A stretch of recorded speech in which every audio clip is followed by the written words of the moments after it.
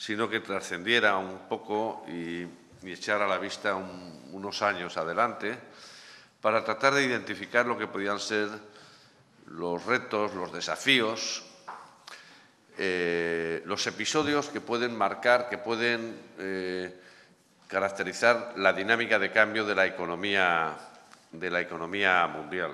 No hay ninguna referencia a la economía más inmediata, a la economía española, y lo que yo les propongo en estos 45 minutos que nos asigna, nos asigna Carmen, pues eh, de alguna forma definir lo que pueden ser los hitos importantes, las, eh, tendencias más significativas eh, en este siglo o en lo que queda de, siglo en la economía global, aunque habrá algunas consideraciones remitidas, eh, referidas a, Europa. Básicamente, por hacer una, síntesis, el mundo hoy, la dinámica económica mundial, tiene un primer eh, aspecto con el que no contábamos hace apenas eh, ocho o diez años, ¿eh? y es el peso, la distribución del peso de las economías en la determinación del PIB global. El poder económico, como luego veremos, se ha redistribuido. Y en cierta medida estamos pagando las consecuencias ahora. Es decir, si si la economía global está ahora inmersa en una senda de mayor debilidad, es porque el 50%, grosso modo, del PIB global, que son economías emergentes, eh, está en una senda de, clara debilidad. El mundo ya no es de los ricos, el mundo ya no es de la OCDE, en el mundo el peso específico de las emergentes es grande, como luego trataré de ilustrar. El segundo rasgo que yo creo que es importante y que está condicionando eh, en gran medida las expectativas de empleo, pero también transformaciones en muchos sectores, desde las finanzas hasta, hasta la industria química o alimentaria, es la transformación demográfica que está teniendo lugar, sobre todo en las economías avanzadas.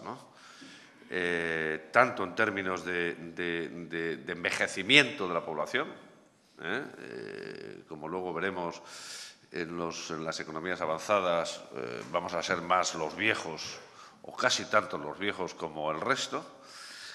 la dependencia se va a acentuar y eso puede tener consecuencias importantes en la oferta de bienes, en la oferta de servicios, pero también en la estructura del mercado de trabajo. Tres, un elemento que ha acentuado mucho los problemas en la economía global hasta el punto de generar una cierta ósmosis, una influencia importante política y social, eh, tiene que ver con la ampliación de la desigualdad, ¿eh? de, la desigualdad en la distribución de la renta y de la desigualdad en la distribución de la riqueza. La desigualdad no es rentable, no es rentable ni siquiera en clave de eh, preservación de los procesos de acumulación. Pero esto quizá nos hemos dado cuenta un poco tarde, porque las consecuencias tanto económicas como, como no económicas de la desigualdad son, son importantes. El cuarto rasgo eh, esencial es esa sensación eh, que anticiparon algunos historiadores de la economía, de la industria hace un par de años y que hoy estamos viviendo en directo, que es la sensación, como digo, de estar viviendo eh, la cuarta revolución industrial, ¿eh? Eh, de estar inmersos en un proceso en el que se está transformando la forma de hacer las cosas gracias, por mor de, de la irrupción, de la presencia amplia de las tecnologías de la información y de la comunicación. Por eso que se ha dado en denominar un poco el fin de la geografía, económicamente hablando. ¿eh? la erosión de barreras a la hora de, hacer economía. ¿no? Luego hablaremos de ello. Eh, un quinto aspecto del que va a hablar eh, Teresa con mucho más criterio que yo tiene que ver con, las exigencias medioambientales en el propio proceso de, de crecimiento. Y quizá lo más relevante y en lo que me gustaría hacer algo más de hincapié es en el impacto que ha tenido la crisis de la que todavía estamos convalecientes, desde luego en Europa, la crisis que, se desencadena en el verano del 2007, el impacto que ha tenido sobre la propia estructura económica. ¿eh? Es decir, esta crisis ha sido la crisis más severa desde la Gran Depresión y no solo ha erosionado el PIB, sino que ha deteriorado de forma significativa el potencial de crecimiento. ¿eh? Vamos a crecer menos, ¿eh? vamos a crecer bastante menos durante bastantes años. Pero también esta crisis ya ha generado, por así decirlo, una dinámica de transformación en sectores básicos, como luego veremos, desde luego en el sector financiero, etcétera, etcétera. Y luego me permitiré enunciar lo que creo yo que son tres o cuatro rasgos importantes, desafíos verdaderos que ya tendremos eh, en el medio plazo. Esto es lo que les propongo, un recorrido rápido, muy rápido. Yo supongo que luego la, presentación estará colgada en la página web o lo que sea, con lo cual si paso muy, muy rápidamente por alguna de las transparencias, me lo dicen. Y les tengo que pedir perdón porque la mayor parte de las transparencias están en inglés, ¿eh?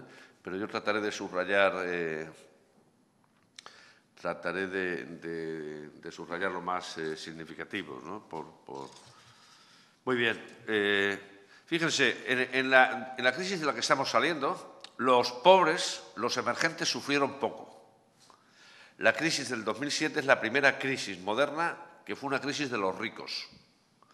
Fue una crisis que nació eh, en Estados Unidos, que se propagó por el resto de, de la OCDE, de, las economías avanzadas, pero que, como ven ahí, afectó muy poco a las economías eh, emergentes, afectó menos, sufrieron más las economías eh, avanzadas.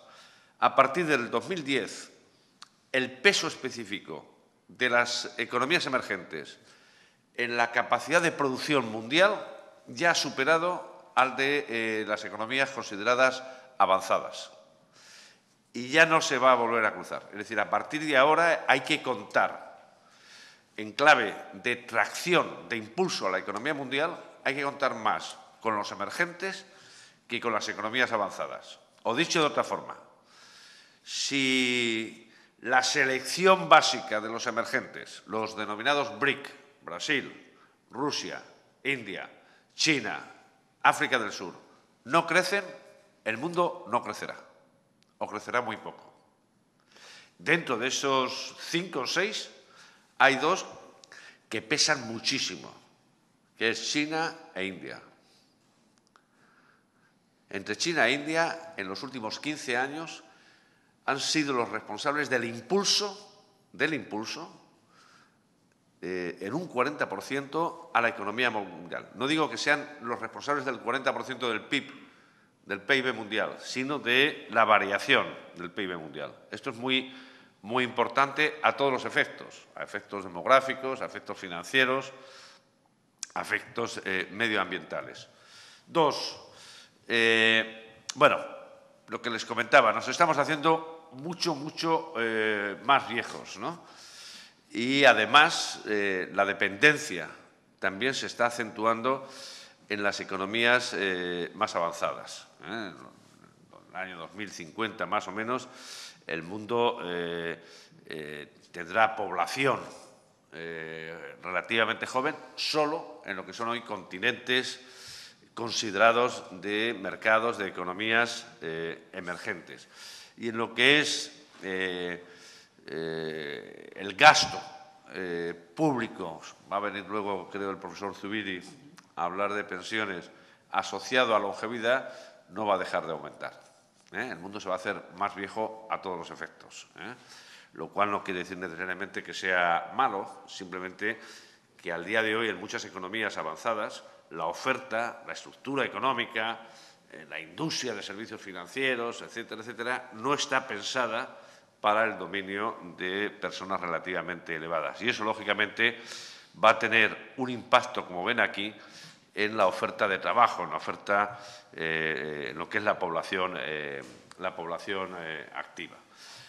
esa crisis de población en las economías avanzadas, podríamos, podríamos solventarla si tuviéramos una política de inmigración correcta, si fuéramos permeables, si fuéramos suficientemente inteligentes acerca de la necesidad, de la conveniencia de incorporar a trabajadores eh, y a población eh, extranjera en las economías eh, avanzadas.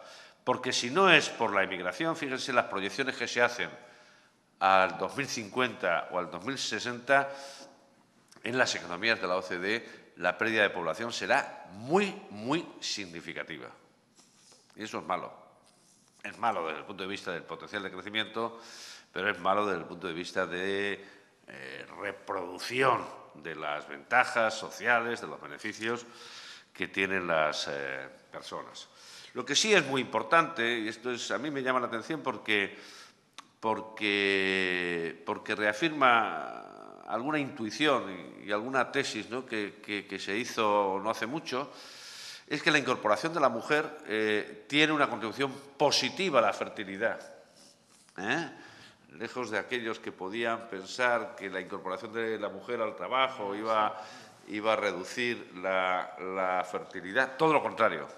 ¿eh? Todo lo contrario. Y aquí se ve una correlación eh, clara. Cuanto mayor es el grado de participación de la mujer, mayor es la fertilidad. En el caso concreto, además de, la influencia de la inmigración, hace dos, tres años un, eh, estudiante, un, investigador de la, de la Autónoma, hizo una tesis en la que ponía de manifiesto, demostraba cómo la inmigración había contribuido a liberar, a incrementar la participación de la mujer en, la población, eh, en la participación laboral y de esa forma eh, aumentar el crecimiento y aumentar también la fertilidad. Es curioso, ¿no? Porque todos creíamos, hombre, esta cosa que se decía antes, la mujer en casa y teniendo hijos y tal, no, es que a lo mejor tiene hijos, hijos mejor fuera si está trabajando, ¿no? Bueno, el gran reto, un problema que tenemos, no solamente económico, es la desigualdad. Serio. Ha, ocurrido una cosa en los últimos años. La desigualdad entre países eh, se ha reducido. ¿Eh? La diferencia entre los niveles de renta de los países ricos y de los países pobres se ha reducido. Y esta es la buena noticia. La mala es que la desigualdad dentro de los países se ha ampliado. Y además se ha ampliado en la mayoría de, las economías avanzadas. También en algunas economías, no lo ven ahí, pero créanme lo que, yo les diga, eh, eh, en algunas economías no avanzadas, ¿eh? probablemente la economía con peor distribución de la renta, con un mayor coeficiente Gini, con una mayor desigualdad de la, de la renta, sea China. pero en Europa en Estados Unidos también eh, se, ha ampliado, digamos, esa, distribución desigual, regresiva en, la renta. Y dentro de Europa, eh, bueno, en la economía española eh, también mantiene datos, de, digamos, coeficientes de, distribución que son adversos. En la riqueza ha ocurrido otro tanto. La distribución también ha sido eh, bastante desigual.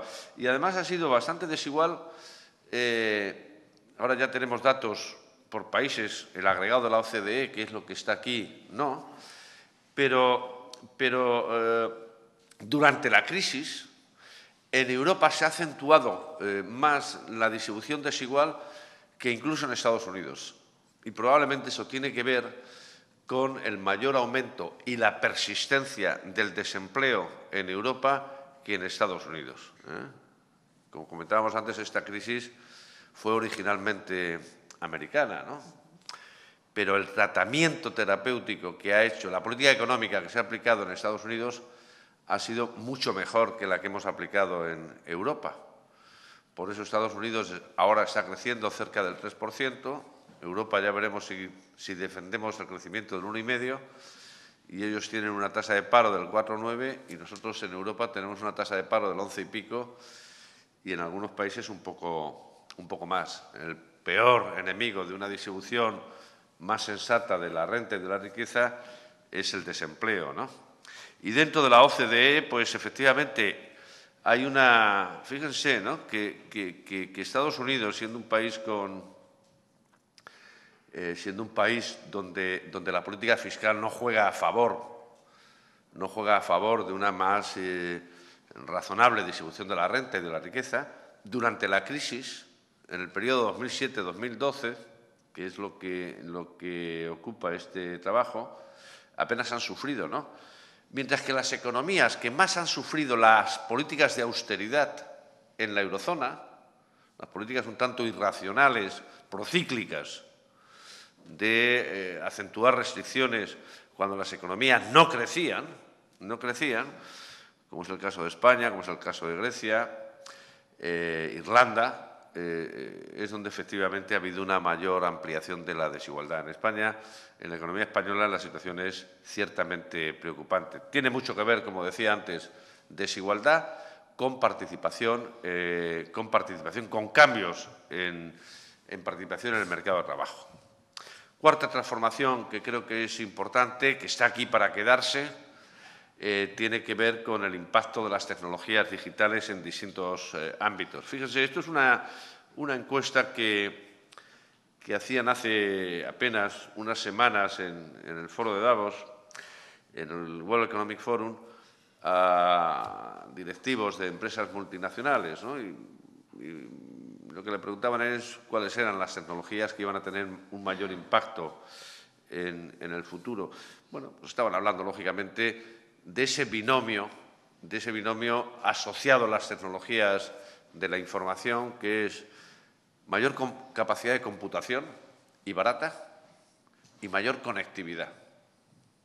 Mayor capacidad de computación quiere decir cumplimiento de la ley de Moore.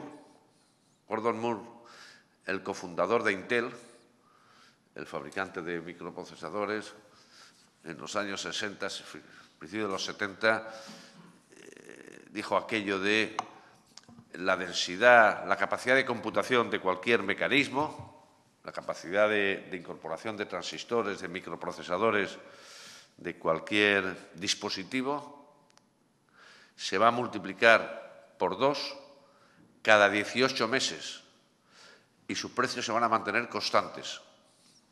Cuando dijo esto en una reunión allí de Intel, alguno le dijo, Gordon, ya, ya has vuelto a tomarte un gin tonic de Max, ¿no? Eh, porque esto es complicado, ¿eh? Eh, hay límites, ¿no? Hay, bueno, la, ley de Moore se está cumpliendo, la capacidad de, de, computación se está duplicando un poquito menos de 18 meses y el problema no es que los precios están, vamos, el problema, los problemas no son, los costes no solo se están manteniendo constantes, sino que están decreciendo. La capacidad de computación que hay en este eh, teléfono eh, móvil es algo superior a la que había en el primer ordenador de la empresa en la que yo empecé a trabajar, cuando terminé la carrera. Pero cuidado, porque yo terminé la carrera hace tiempo, pero además tuve la suerte de empezar a trabajar en una empresa que instaló el primer gran ordenador en Madrid. Era una empresa de obras públicas que se llamaba, se llama Dragados y Construcciones.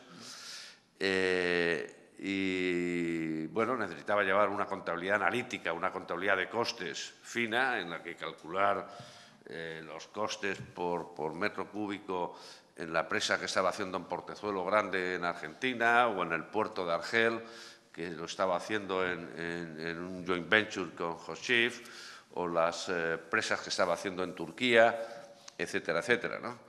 Eh, no exagero, eh, habilitaron allí en la sede central de la Alameda de Osuna una sala como esta para meter todos los ordenadores. Había que entrar con una bata y eh, eh, el aire estaba, tenía que tener una temperatura determinada. Todo el mundo entraba con unas fichas perforadas debajo del, brazo, ¿no?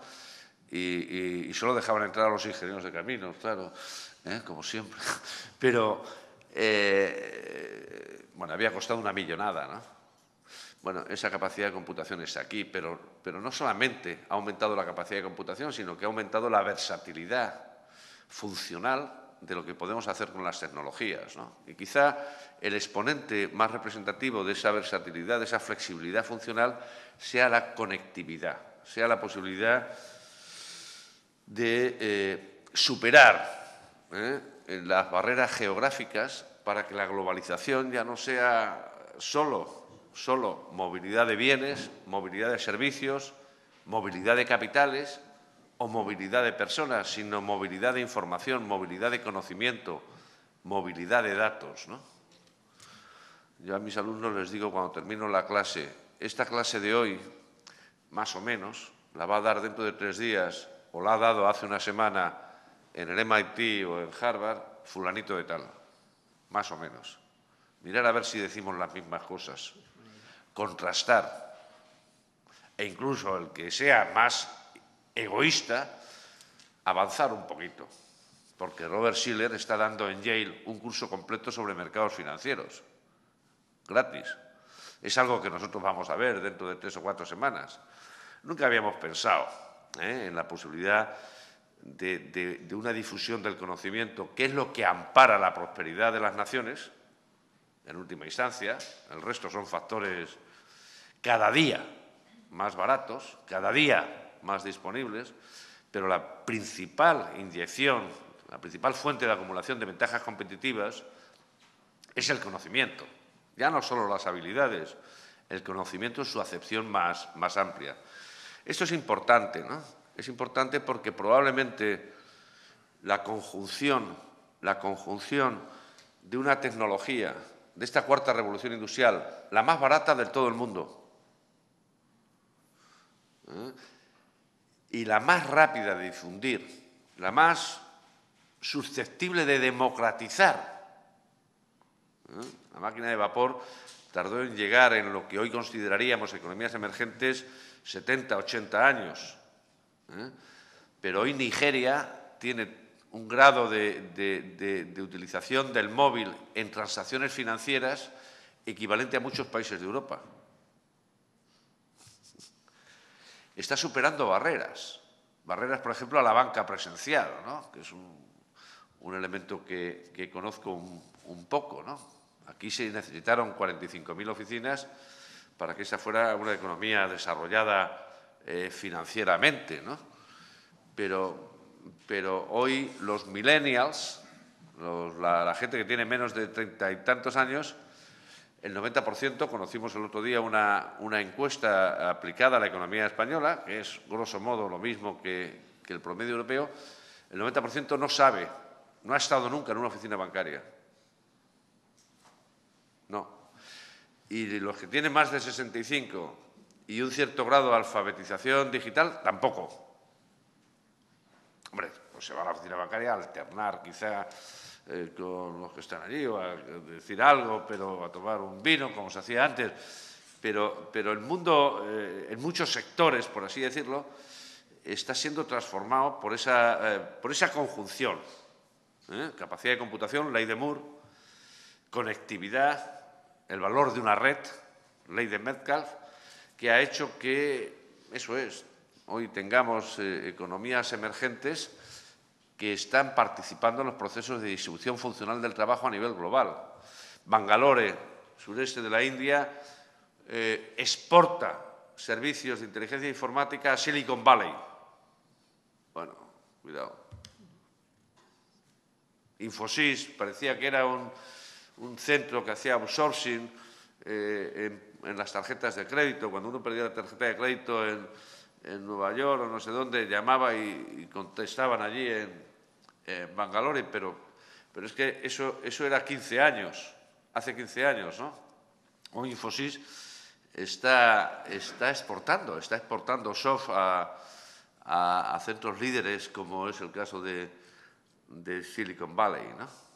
La clave era el conocimiento, eso sí, la capacidad para emprender.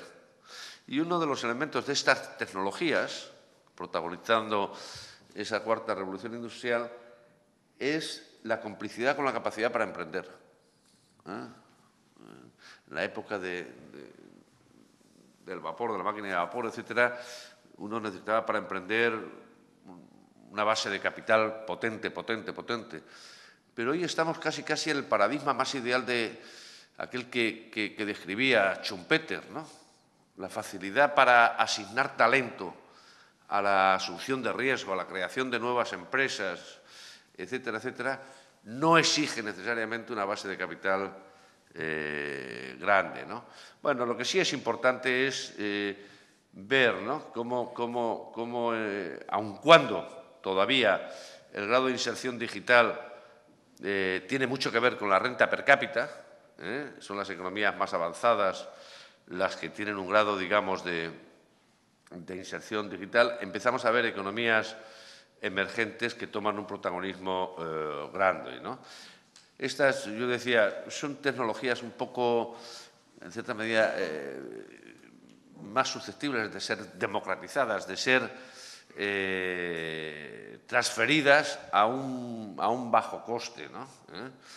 que no requieren ya, gracias a la innovación, de las infraestructuras que las propias tecnologías de la información requerían hace apenas 15 años. Empezamos a ver experimentos de, garantías de la conectividad en poblados eh, ajenos gracias a, dispositivos aerostáticos que garantizan banda ancha suficiente para, dar esa eh, continuidad, esa conectividad. ¿no? Bueno, lo que sí es verdad es que eh, esas tecnologías tienen una segunda cara, una, contrapartida que todavía no atisbamos, que todavía no, conocemos bien esas consecuencias y que tienen que ver con, la intensificación de la robotización y, la, presencia cada vez mayor de la inteligencia artificial. Eh, en una primera fase, las tecnologías de la información crearon mucha productividad, sobre todo en Estados Unidos. ¿eh? Eh, y eso ayudó a una inversión masiva en empresas especializadas en, eh, este sector. La inversión no ha parado, pero empezamos a ver que son inversiones destructoras de empleo. y probablemente en el, en el, medio plazo emergerán nuevos empleos. ¿no? Pero hoy por, hoy hay un debate importante que tiene que ver con el efecto neto de estas tecnologías. Probablemente eh, están facilitando eh, aspectos importantes, como he dicho antes, la difusión del conocimiento, la generación de ganancias de productividad en los servicios, otra vez los servicios financieros. La industria de servicios financieros es la principal inversora en tecnologías de la información desde mediados de los 90. Incluso en algunas economías como, la española, incluso antes, ¿eh? porque todo el proceso de innovación, por ejemplo, en la banca al por menor, pasaba por el teleproceso, por el establecimiento de cajeros automáticos, etcétera, etcétera. ¿Eh? Las compañías en bienes y en servicios, en lo que es la cacharrería y el soft, el principal cliente eh, es la industria de servicios financieros y toda la reducción de empleo que se ha hecho con la misma generación de, valor ha sido compensada eh, por, las, eh, por las tecnologías de la, de la información. Es altamente probable que, eso, que eso siga ocurriendo. Pero la gran incógnita, que yo no tengo, no alcanzo a anticipar del todo, tiene que ver con aspectos ya más de salud política, ¿no? de salud eh, democrática, de, libertad. ¿eh? Eh, el impacto que, estas tecnologías, que la inteligencia artificial, que, la disponibilidad de Big Data y el Data Science pueda tener en lo que es la privacidad, pueda tener en lo que es la convivencia política, la capacidad de elección, etcétera, etcétera. Bueno, sobre el tema de medioambiental, insisto, luego, luego vamos a discutir y Teresa va a hacer la gran, la gran ponencia. Lo que sí es importante ¿no? es que eh, dentro, también dentro de, esa discusión que, a la que hacía antes referencia, que ha tenido lugar en el último eh, foro de Davos, eh, los problemas medio, medioambientales han sido destacados como fundamentales, ¿no? como fundamentales incluso como fundamentales desde un punto de vista económico, desde un punto de vista, digamos, de estabilidad del crecimiento económico a medio plazo. Lo que más me interesaría eh, comentar con ustedes, una vez que, hemos convenido en esas grandes tendencias, quizá falta alguna, es eh, qué huellas, qué heridas poco cicatrizadas, qué secuelas ha dejado la crisis del 2007. Bueno, eh, la primera es una restauración de daños muy lenta. Eh, ahora veremos. El crecimiento no se ha restaurado todavía, entendiendo por restauración la cercanía del crecimiento contemporáneo, del PIB actual, al PIB potencial. Y en Europa no lo vamos a hacer en mucho tiempo.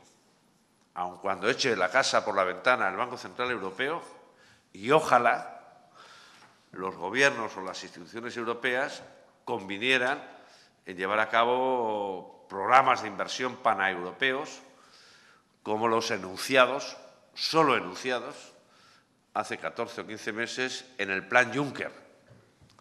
Dos, dentro de ese distanciamiento al crecimiento, lo que es la comunidad de vecinos de las economías que comparten moneda eh, va, a estar, eh, va a tener un crecimiento tendencial menor. ¿eh? Estamos ahora celebrando la posibilidad de que la economía de la eurozona crezca al 1,5 este año. pero creciendo al 1,5 no hay vida. ¿eh? no se reduce suficientemente el desempleo, no se hace frente a alguno de los retos que hemos comentado antes. Creciendo al 1,5 no pagamos las deudas, ¿eh? no pagamos las deudas privadas y públicas que tenemos, etcétera, etcétera. Creciendo al 1,5 damos pábulo, damos eh, credibilidad a ese enfoque que está resucitando en los últimos años que es el estancamiento secular, el secular stagnation, y que algunos académicos americanos lo, renovaron pensando en Estados Unidos, pero que tiene su particularización más clara en el caso de Europa. Una economía que no va a crecer, que tendrá un encefalograma plano durante décadas y décadas y que no reaccionará a terapias como las que estamos viendo ahora, a tipos de interés cercanos a cero. ¿eh? Y, por lo tanto, condenados a que los que tengan trabajo y renta transfieran de forma permanente una parte de su renta a los que nunca van a tener eh, trabajo.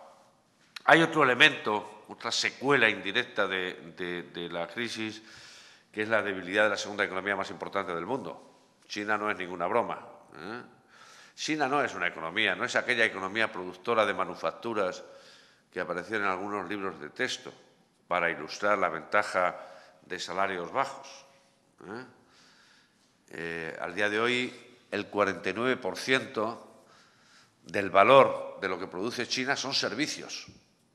Son servicios, no son manufacturas. China, para que se hagan una idea, en los últimos cinco años ha invertido en capital tecnológico, más de, más que toda Europa juntos. ¿Eh? China está creciendo menos y está creciendo de forma distinta. Nos está complicando la vida al resto del mundo. Probablemente desde un punto de vista medioambiental, luego Teresa dirá, esto es una bendición, pero eh, es una de las responsables de la desaceleración, de la debilidad de las economías emergentes, de los proveedores de China.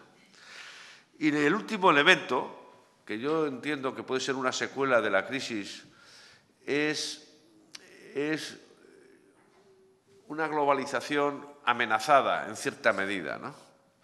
O si quieren, por formularlo de otra forma, la emergencia de brotes de un nuevo proteccionismo,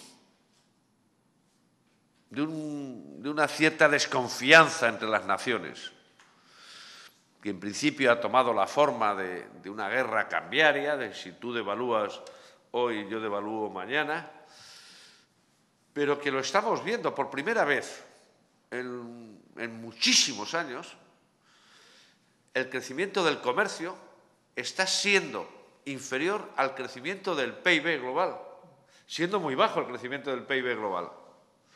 Los supersticiosos empezarían a tocar madera, porque cuando hemos visto esto, en épocas eh, históricas anteriores, enseguida hemos visto momentos de, proteccionismo y de estancamiento económico global. Las mercancías se mueven menos entre países en los tres o cuatro últimos años. Los capitales se mueven mucho menos entre países, ahora que hace cuatro años, y las personas también. El otro día se dejaban mis alumnos un gráfico que comparaba eh, la primera fase de la globalización, la que, la que presidió el último tercio del siglo XIX, de 1864 y el periodo ya de, la Primera Guerra Mundial, que coincidió, grosso modo, con, el, con la vigencia del patrón oro, eh, lo que era el movimiento de mercancías, el movimiento de, capitales, desde luego el movimiento de personas, entonces, y en esa fase de la globalización, que yo la llamo encuentros en la tercera fase, eh, porque la tercera fase los encuentros en la tercera fase relevante son emergentes en ascenso y tecnologías de la información. Los emergentes de, la primera fase de la globalización del siglo XIX eran Estados Unidos, era una economía emergente que fue financiada desde Europa. ¿eh? Digamos, las, primeras, las primeras consecuencias de la revolución industrial, la, extensión del ferrocarril, fue financiada con capitales eh, europeos eh, fundamentalmente a través de bonos eh, que mandábamos desde, desde Londres, pero en términos relativos, de importancia relativa, la globalización financiera no era menor entonces que ahora. Y desde luego lo que era mayor era eh, la movilidad de personas. ¿no? Claro, ya sé que la globalización tiene sus críticos, ¿no? como diría Stiglitz, ¿no? pero penalizar o bloquear la globalización nos haría problemas de otro tipo. Bueno, a partir de aquí lo que hago eh, es tratar de, demostrar eh, eh, con algunos indicadores cada una de, las afirmaciones que, he dicho. No sé si tengo tiempo, dos minutos, Carmen, para... Fíjense, esta, esta crisis de la que estamos saliendo fue, la, fue singular entre otras muchas, desde luego por su severidad. Pero nunca habíamos visto en la historia reciente el 100% de las economías avanzadas en recesión, en lo que los estadísticos llaman recesión. Más de dos trimestres consecutivos con una variación negativa del PIB. Bueno, lógicamente tenía que hacer daños importantes. Probablemente el daño más importante es el capital humano. La tasa de desempleo juvenil eh, en todo el mundo ha ido a niveles inquietantes. ¿eh? La erosión en la calidad del capital humano eh, es fundamental para una economía, para que una economía asiente su cercanía al crecimiento potencial. Pero ha ocurrido algo que para los macroeconomistas es todavía más preocupante si cabe. Por un lado, hemos dañado el capital humano y va a ser muy difícil restaurar. En la mayor parte de los países de la OCDE esa tasa de desempleo eh, eh, en los jóvenes es muy, es muy elevada. Pero es que hemos dañado la, productividad. Eh, el colesterol bueno de los itinerarios al crecimiento, que es el crecimiento de la productividad, y dentro de la productividad, la productividad total de los factores, apenas la hemos restaurado, ¿no? Y va a ser muy, muy difícil. Y sin crecimiento de la productividad a medio y largo plazo no hay garantía de un crecimiento del bienestar. ¿eh?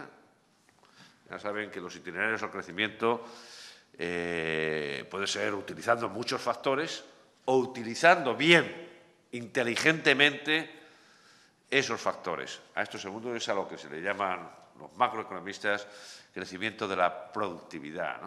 Son itinerarios complementarios, no necesariamente alternativos. Lo que ocurre es que a largo plazo, si no hay un crecimiento de la productividad y dentro de la productividad del trabajo, eso que se denomina productividad total de los factores, no hay prosperidad a medio y largo plazo. Y en la OCDE ha crecido poco, pero en la eurozona nos la hemos cargado. Nos la hemos cargado. Entre otras cosas porque hemos sacrificado el capital tecnológico. ¿eh? Dentro de esa calificación inadecuada de las terapias aplicadas en la gestión de la crisis a la que, a la que antes me refería, hablando de la eurozona, está precisamente eso, ¿eh? el sacrificio de partidas, es verdad, eh, eh, poco sensibles, ¿eh? solo protestan algunos investigadores, algunos profesores y tal, pero vamos, y llevar, como, como, hemos visto, la inversión en I+.D. a niveles inferiores a la de algunas economías, a la de algunas economías emergentes. Bueno, eso es como dispararse un tiro en el pie. Algunos decían, eso es pan para hoy. No, no, no, no es pan para hoy y desde luego es hambruna eh, eh, para mañana. Porque además el sacrificio del capital tecnológico en Europa ha ido acompañado de una caída en la, eh, en la inversión. La OCDE sacaba hace poco un, informe que alertaba de la trascendencia que puede tener a medio plazo la caída en la inversión privada y pública. Privada y pública. Lo que no ha impedido, lógicamente, a pesar de unas políticas de austeridad cuyo propósito era reducir la deuda pública, que nos encontremos ahora con que los países que en mayor medida sufrieron las terapias basadas en la austeridad son los que hoy tienen más deuda pública. Porque, contrariamente a lo que presumían algunos colegas bostonianos, la austeridad no es expansiva. y es particularmente contractiva si se practica, si se lleva a cabo en posiciones cíclicas eh, recesivas. Desde luego, el caso de la economía española es bastante representativo. La economía española, a 31 de diciembre del 2007, como ustedes saben, tenía el stock de deuda pública más bajo de Europa, el 35,5% de, del PIB, al mismo nivel que Luxemburgo, más o menos el déficit público, bueno, no había déficit público, había un superávit público del 2,1% de, del PIB. Teníamos más problemas, cuidado, ¿eh? No teníamos problemas en las finanzas públicas, pero teníamos las peores finanzas privadas del mundo, porque teníamos un 260% de endeudamiento sobre el PIB y era un endeudamiento bancarizado y a su vez esos bancos tenían captada eh, su insuficiencia de ahorro en los mercados internacionales. Pero se nos aplicó aquella terapia pensando que la letra con sangre entra, eh, que, el propósito de enmienda lo iban a recibir muy bien los mercados de bonos y que los mercados de bonos iban de la noche a la mañana a, fortalecer la confianza en España, a reducir los tipos de interés, a invertir, etcétera, etcétera. Esa secuencia virtuosa que Alesina y otros eh, de la Universidad de Harvard habían proporcionado como coartada teórica, académica, a las autoridades alemanas. Bueno, cuando una economía decrece, si se reduce el gasto, incluso si se aumentan los impuestos, el resultado, lógicamente, es menos capacidad de recaudación, más aumento de la deuda, que es un poco lo que, lo que estamos ahí. Dando pábulo, ofreciendo un ejemplo potencial a ese enfoque que, el anterior secretario de Estado estadounidense, eh, secretario de Economía, secretario del Tesoro, Larry Summers, eh, conocido macroeconomista, pues cuidado, porque aquel enfoque que Hansen, que aquel académico, formulara en los años 30, diciendo, cuidado, si no aplicamos políticas suficientemente agresivas, podemos poner al enfermo en un encefalograma plano durante mucho tiempo. ¿eh? Pues claro, el caso de ese paradigma ya no es Estados Unidos, porque Estados Unidos, bueno, está creciendo, algo por debajo de su potencial, pero es probable que crezca al 3%. Eh, el caso es eh, la eurozona. Vamos a ver, ese enfoque del estancamiento circular lo que viene a decir es la capacidad de maniobra cuando los tipos de interés reales han alcanzado un nivel cero es baja. Y la capacidad, y, hay razones para preocuparse si coexiste un nivel de tipos de interés cercanos a cero con un crecimiento del ahorro. ¿Qué es lo que está ocurriendo en Europa? No falta ahorro, sobra liquidez, pero la inversión está inhibida, a pesar de que los tipos de interés no sé cómo estarán esta mañana, pero después del anuncio que hizo ayer el Banco Central Europeo, hay gobiernos en el área euro que se financian por debajo de cero, es decir, que los inversores en bonos tienen que pagar un poquito, incluso a ocho años. Los hacendistas clásicos decían aquello, ¿no? De endeudarse no es pecado, ¿eh? siempre y cuando no se endeuden para irse de juerga, claro. No hay que endeudarse para gasto corriente, ¿no? No hay que endeudarse. Eh, pero decían una segunda cosa que creo que es importante, es siempre hay que endeudarse para inversión, pero hay que procurar que la tasa de rentabilidad esperada de la inversión supere el coste de capital, el coste de la deuda. La primera vez que dije yo esto en una charla con empresarios, levantaron la mano cuatro o cinco y dijo, claro, es que esto, pero es que a mí la banca me está cobrando un 12%. ¿Cómo voy yo a tener una TIR de la inversión? ¿Merece la pena que la eurozona sea la región económica más infrainvertida, que más retraso ha hecho en la inversión en capital tecnológico y más amenazada por el riesgo de estancamiento secular, cuando no solo el gobierno alemán, sino el Banco Europeo de Inversiones o la Comisión Europea podría financiar su prometido plan Juncker, que facilitaría la productividad de las empresas y, por lo tanto, la generación de mayor crecimiento a medio plazo, financiar en operaciones a 10 años al 0,2, al 0,3%. Bueno, ahí, tenemos, eh, tenemos un, problema. Tenemos un problema de agotamiento de, la caja de herramientas. Ayer el Banco Central Europeo echó mano de algunas herramientas muy excepcionales. Es verdad que sus colegas, la Reserva Federal y el Banco de Japón, lo hicieron hace cuatro años. En este caso lo hemos hecho ya cuando el paciente llevaba casi pajarito mucho tiempo. ¿eh? Pero bueno, la eficacia marginal de esas actuaciones es decreciente. Que en la sala hay gente que sabe de banca al por menor más que yo. Qué difícil es hacer, yo no quiero aparecer como un gran defensor de los bancos, ¿eh? pero yo solía hacer hace unos, meses, cuando los empresarios se metían con los bancos, en algunos casos con razón, eh, yo saqué unas llaves del bolsillo y dije, señores, esto es un banco y lo voy a regalar. Es un banco que tienen, tienen ustedes que saber, uno, que va a hacer banca al por menor, no otro tipo de actuaciones, ¿eh? no investment banking, etcétera, etcétera. Banca al por menor.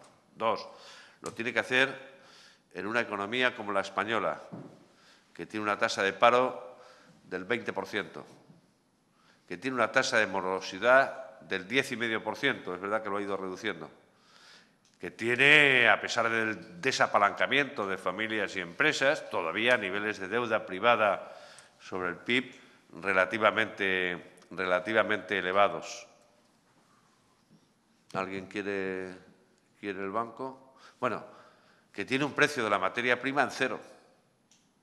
Hasta ayer en 0,00. Pero es que ayer el gran mayorista, que es el Banco Central Europeo, ha dicho, mira, eh, eh, voy a ser, voy a estar interviniendo, voy a estar aplanando, interviniendo en los mercados de bonos más todavía de lo que lo he estado haciendo ahora. Voy a comprar 80.000 millones de euros en bonos, ya no solo bonos públicos, ¿eh?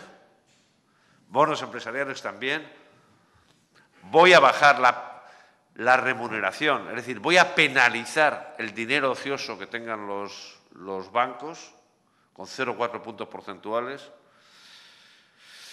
Bueno, ah, y se me olvidaba una cosa antes de dar las llaves, ¿no? Es el sector más regulado del planeta.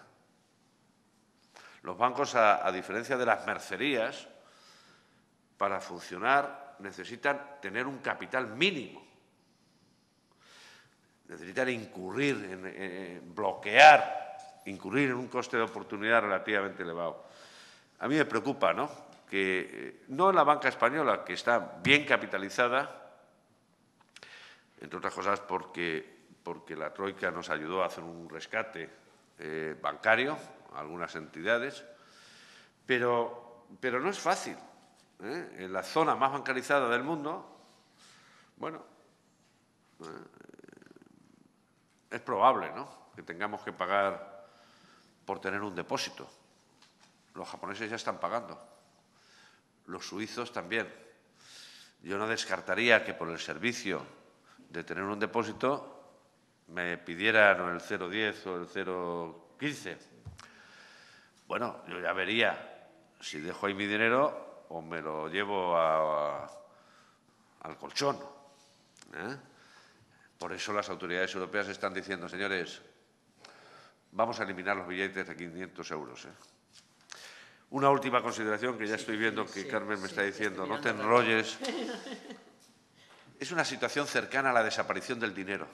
Yo el otro día les puse una pregunta en un examen a, mis alumnos, ¿no? Eh, que fue el enunciado de una cosilla que escribí luego en un periódico. ¿no? El dinero estorba. El dinero es una estupidez. El dinero es sucio, opaco y dificulta la aplicación de la política monetaria en situaciones excepcionales. Una de las tendencias de este futuro próximo, de los cinco o diez próximos años, va a ser la desaparición del efectivo. En Dinamarca o en Suecia, el 94-95% de todas las transacciones de comercio al por menor no utilizan el dinero. Pero incluso cuando van a la iglesia a dejar ahí el donativo, lo hacen con el móvil. Luego vamos a discutir. Sí, sí, ¿no? sí, sí. Luego tendremos una sesión. De... Muy bien, pues muchas gracias. Muchas gracias a ti, Emilio.